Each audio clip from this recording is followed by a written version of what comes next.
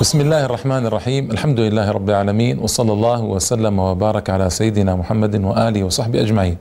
أما بعد الإخوة والأخوات السلام عليكم ورحمة الله تعالى وبركاته. واهلا وسهلا ومرحبا بكم في هذه الحلقة الخامسة التي نتحدث فيها عن أسباب الحملة الفرنسية على الجزائر بالتفصيل. ومن مهم التفصيل في هذه الأسباب لأنها مدخل كبير جدا لفهم السياسة الفرنسية في الجزائر ولفهم ما جرى من أحداث بعد ذلك إلى أن نالت الجزائر استقلالها سنة 1382 1962 فلذلك اسمحوا لي إذا توسعت قليلا لأهمية هذا الموضوع وخطورته على تسلسل الأحداث بعد ذلك لأكثر من مئة سنة. هنالك أسباب سياسية هنالك أسباب اقتصادية هنالك أسباب دينية. فقبل أن أذكر الأسباب لابد أن أقول إن فرنسا والجزائر عاشتا في وئام طويل مدة ثلاثة قرون من القرن الأول من الثلث الأول من القرن السادس عشر إلى الثلث الأخير من القرن إلى الثلث الأول من القرن التاسع عشر يعني إلى وقت الحملة. ما عدا مناوشات خفيفة جدا في حملتين سريعتين فرنسيتين على الجزائر ذكرتهما في الحلقة الماضية. عدا عن ذلك الأمور كانت لا بأس بها. بل إن الدولة العثمانية طلبت من الجزائر رسميا أن تنصر فرنسا حليفتها آنذاك ضد إسبانيا في معركة مشهورة. وبالفعل قامت الجزائر بنصرة فرنسا وكانت النصرة الجزائرية سببا لانتصار فرنسا على إسبانيا آنذاك. هذا الكلام كان في القرن السادس عشر.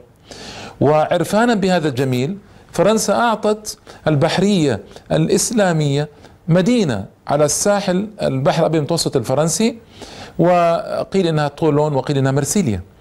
وبل إن أخلت السكان منها لمدة ثمانية أشهر للبحرية الإسلامية فكان ميناء عثمانيا اسلاميا على التراب الفرنسي. ومنه انطلقت انطلق الجهاد آنذاك البحري الجزائري إضافة إلى انطلاق الجهاد طبعا من السواحل الجزائرية. فالأمور كانت على وئام. بل إن المؤرخين يذكرون إنه ما بين سنة 1530 إلى 1000 إلى 1830 في الثلاثه قرون هذه وقعت فرنسا مع الجزائر 30 معاهدة. ثلاثين معاهدة.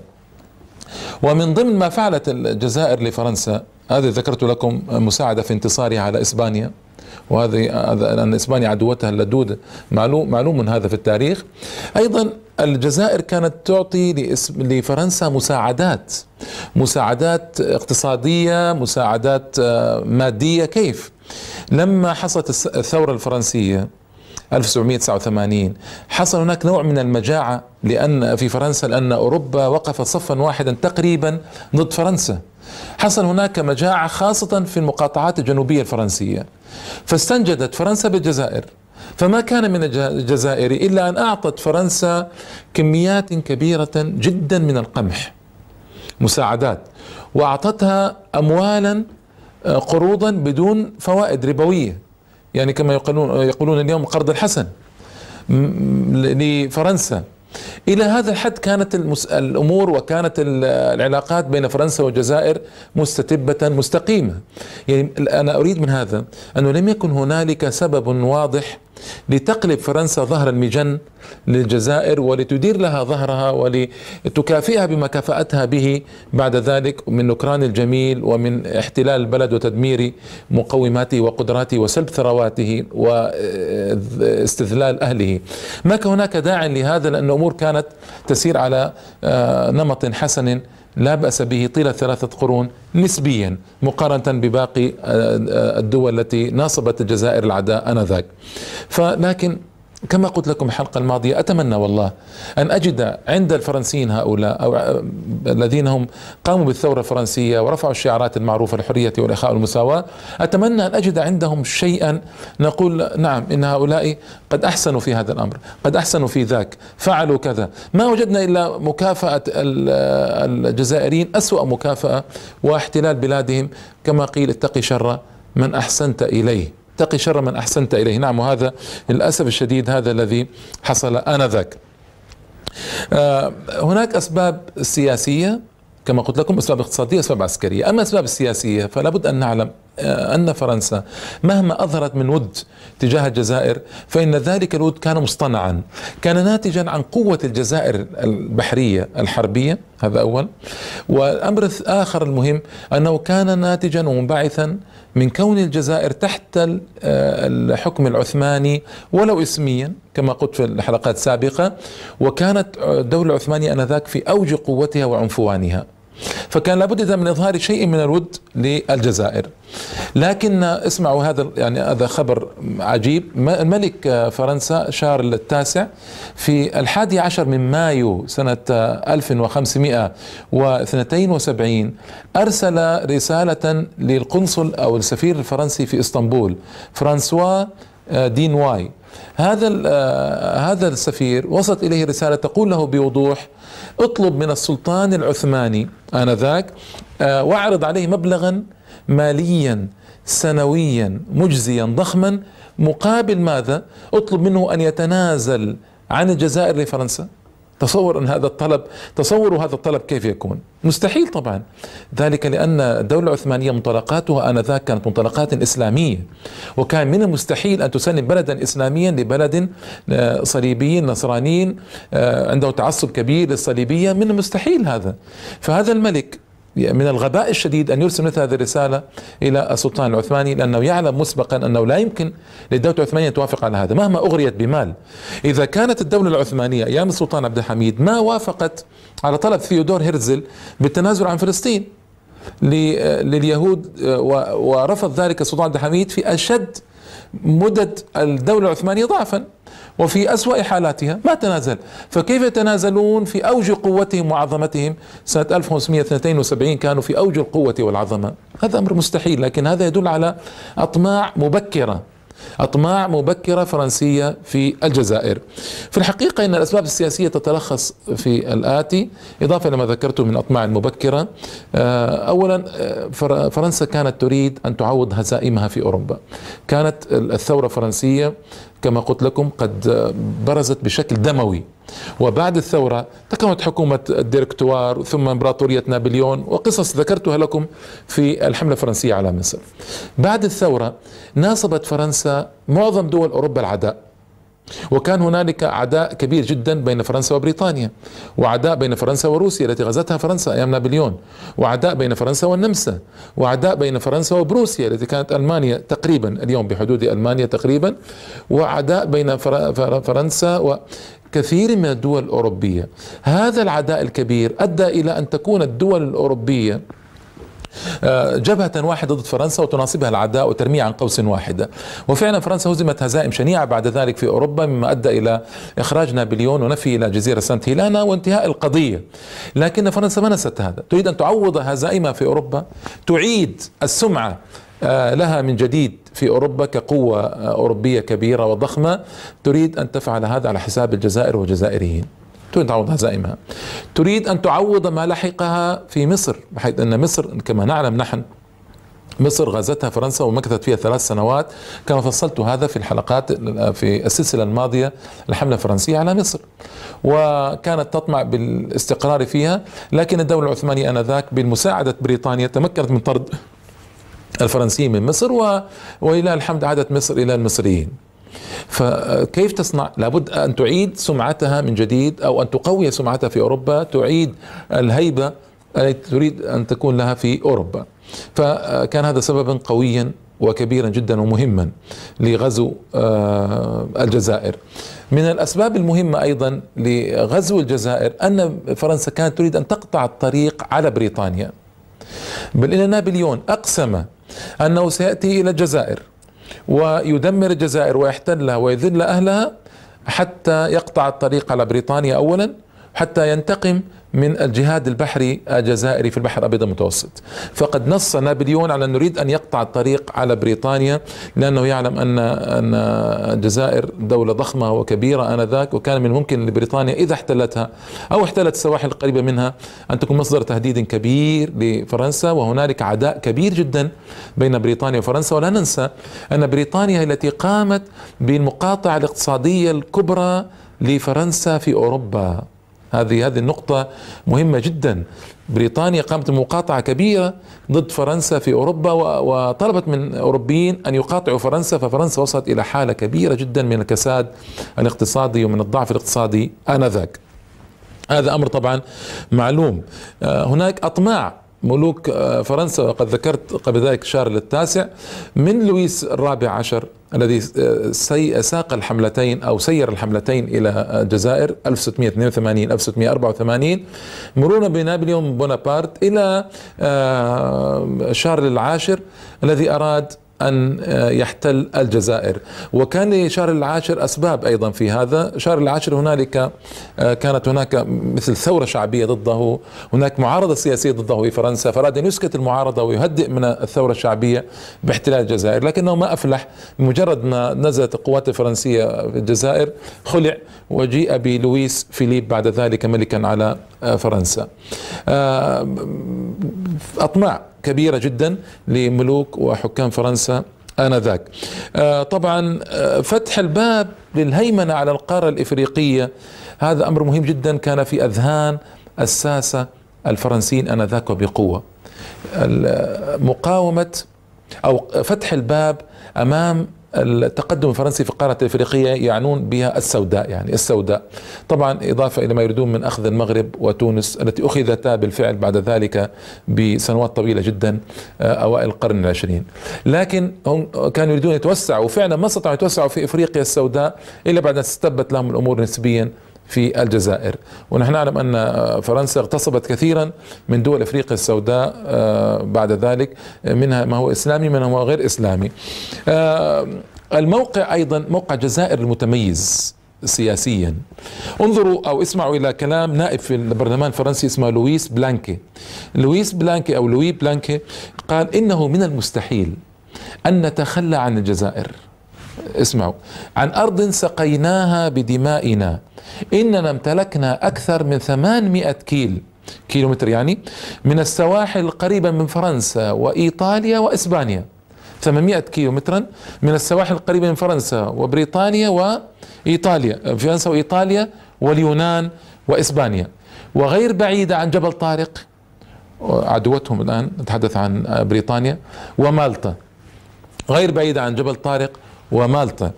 آه، في بحر يحتوي المشاكل الكبرى لأوروبا والعالم. إذا الموقع المتميز كان يسير له لعاب الفرنسيين بل الأوروبيين جميعا. وتحدثت معكم أن هنالك في الحلقة الماضية هنالك آه، عقد مؤتمر في فيينا سنة 1815 عقب بمؤتمر آخر سنة 1819 يعني قبل غزو الجزائر بإحدى عشرة سنة واتفقت أوروبا فيما بينها على أخذ الجزائر. فكان هذا قرارا سياسيا. عهد بذلك إما إلى بريطانيا إما إلى فرنسا. فرنسا بادرت وفعلت ما آه، آه، اتفقت عليه الدول الأوروبية آنذاك. هذه بعض الأسباب السياسية في الحقيقة التي أدت بفرنسا إلى احتلال الجزائر وأخذها وقلب ظهر المجن للجزائر في قصة مؤلمة وحزينة في الحقيقة وكافأوا الجزائر أسوأ مكافأة كما قلت لكم. أما الأسباب الاقتصادية، الأسباب الاقتصادية أيضا مهم ذكرها لأنها هي فعلا أسباب محركة. قد يتذرع الساسة بأسباب أخرى دينية بأسباب سياسية واهية لكن يكون المحرك لهم في كثير من الأحيان إنما هو سبب الاقتصادي. كما قال بابا أوربان الذي أثار أوروبا وحملها على إرسال أول حملة صليبية من أوروبا الغربية وفي فرنسا في كليرمونت قال هلموا إلى أرض الزبد والعسل إلى أرض الزبد والعسل. آه، فكان هذا واضحا جدا سبب اقتصادي كبير. آه، وكان هذا من المغريات التي يغري بها البابا والكنسيون عموما الجيوش الأوروبية. اسمعوا لخطبة أيضا قام بها جنرال بيجو وهو الذي تولى بعد ذلك حكم في الجزائر بعد دوبرومونت وسأذكر هذا إن شاء الله تعالى فيما بعد. لكن جنرال بيجو كان من قواد الحملة وقال بوضوح في خطبة آه، له قبيل احتلال الجزائر قال يجب القيام بغزو فرنسي أوروبي واسع. نحن بحاجة إلى معمرين أي مستوطنين. وقلت لكم ليسوا معمرين إنما هم مخربون. مستوطنين يهيئون لكم أفضل الظروف. وحيث يوجد الماء الصالح والأرض الخصبة ينبغي توطين المعمرين من دون اسمعوا الكلام هذا العجيب من دون أي اعتبار لمن تعود إليه ملكية هذه الأرض. يعني شيء استهانة عجيبة جدا جدا بأصحاب الأرض الأصليين.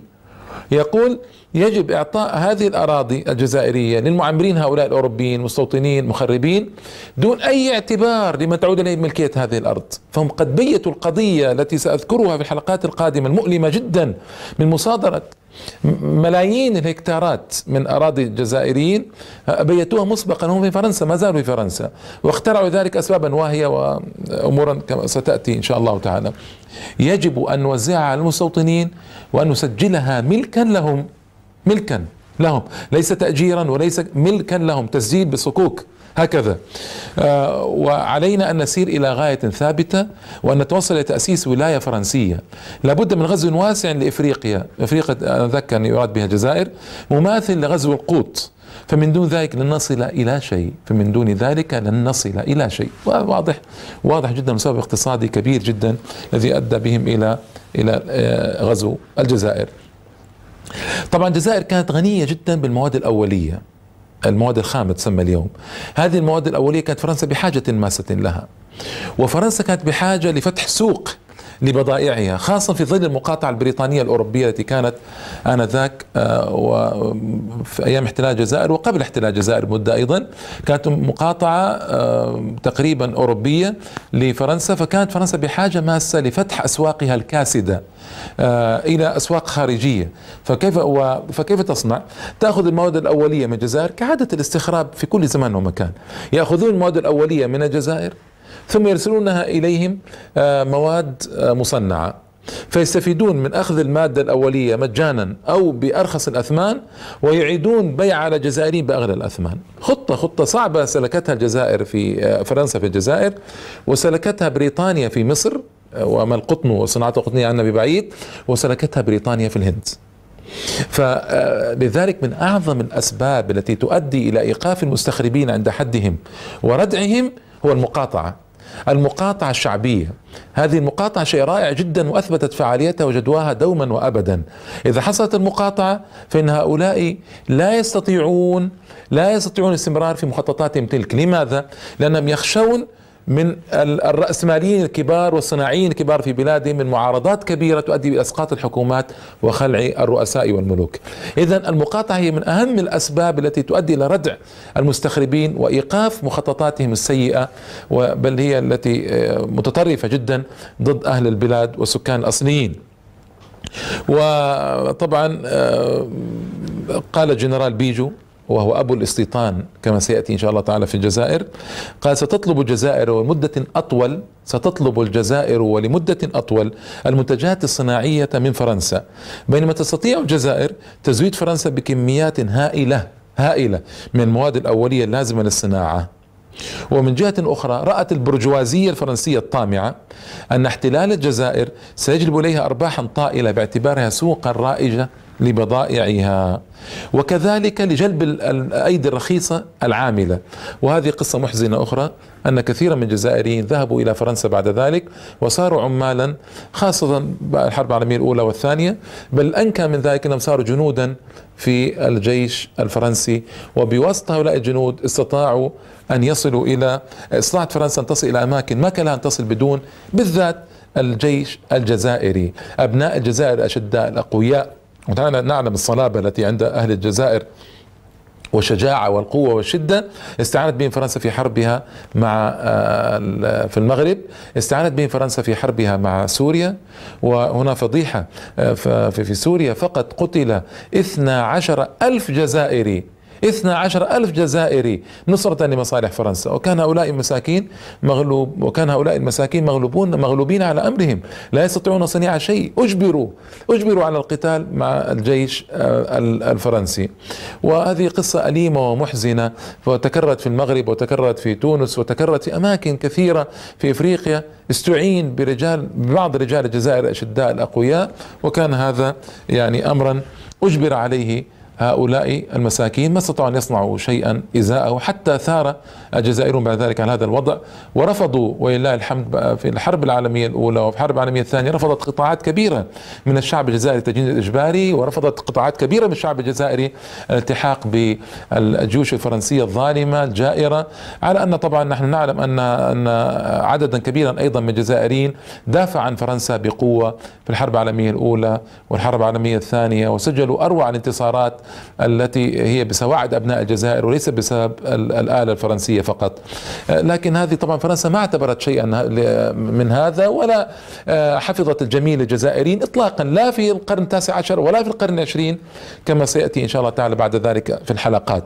إذا ثم يقول وكذلك اسمعوا هذه نقطة مهمة إضافة إلى جلب الأيدي العاملة. يقول كذلك التوطين الفائض من سكان أوروبا وفرنسا الذين كانوا يوجهون إلى تطوير الزراعة إذا بلادنا احتملت موجات كبيرة من الهجرة الأوروبية الفرنسية إلى أرض الجزائر.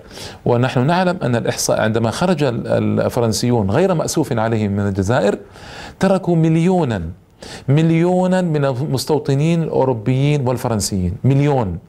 كان بعضهم له أكثر من جيل أو جيلين أو ثلاثة أجيال بعضهم أي منذ أن دخلت فرنسا إلى الجزائر مستوطنين في الجزائر. هؤلاء المليون بفضل الله تعالى أكثرهم قد هرب وخرج مع المحتل الفرنسي البغيض لما خرج رجع إلى بلاده غير مأسوف عليه. فتصوروا هذا العدد مليون من المستوطنين الذين كانوا أكثرهم من شذاذ الآفاق من لصوص أوروبا من أسوأ أنواع أسوأ أنواع الشعوب في أوروبا أتوا إلى آه، أتوا إلى فرنسا وإلى ثم إلى الجزائر وفعلوا بأهلها الأفاعيل كما سيأتي تفصيل إن شاء الله تعالى عن الاستيطان الفرنسي في الجزائر فلا أطيل. إذا هذه هذا السبب الاقتصادي باختصار شديد. بقي لنا السبب الديني وفي الحقيقة أيضا سبب محزن وعندما نتحدث عنه أنا ما أريد من حديثي عن السبب الديني ما أريد ان, أن, أن الآن أن أركز على قضية النصرانية أو النصارى أو أو الكنيسة قدر إيضاحي للحقيقة. يعني ما أريد بعض الناس يستثمر مثل هذا الحديث من أجل أن يقول آه، هؤلاء يطعنون في أهل الأديان ويطعنون. لا لا لا, لا. إنما الحقائق لا تطمس. الحقائق لا تضيع. الحقائق لا تنسى. كما يقولون الجرائم لا تسقط بالتقادم. هذا أمر معلوم.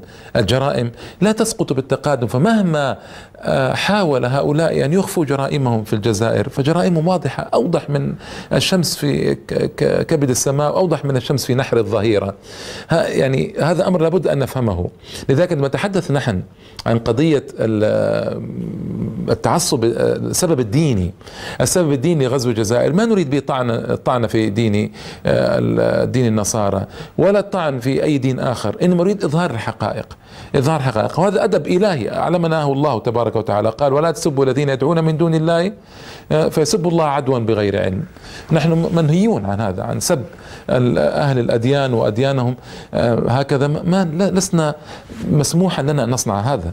لكن اتحدث عن حقائق لابد أن يسمعها إخواننا الجزائريون خاصة وإخواننا المسلمون عامة. يسمع هؤلاء يسمعون هؤلاء هذه الحقائق حتى تظهر الأسباب الحقيقية لغزو الجزائر. المخرج أشار بانتهاء الوقت وإن شاء الله تعالى سنكمل في الحلقة السادسة القادمة. الأسباب التي أدت بفرنسا لاحتلال الجزائر. والله أعلم وأحكم. وصل اللهم وسلم وبارك على سيدنا محمد وآله وصحبه أجمعين. وإلى اللقاء في الحلقات القادمة إن شاء الله. والسلام عليكم ورحمة الله تعالى وبركاته.